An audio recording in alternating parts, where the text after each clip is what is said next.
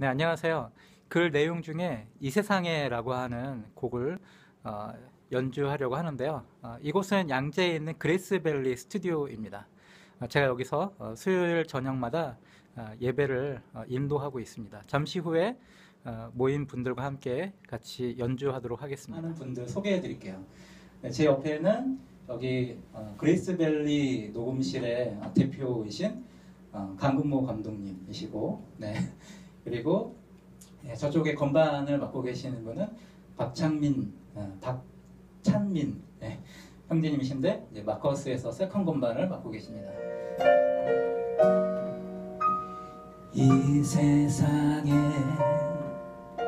나만 혼자라는 생각에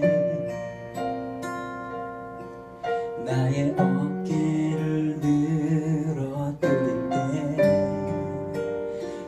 위로의 하나님 날 안으시네.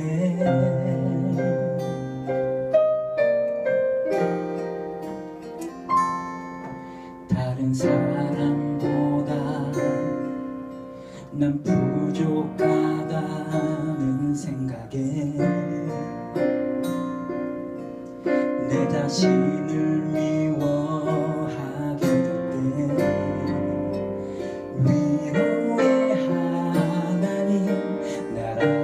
心。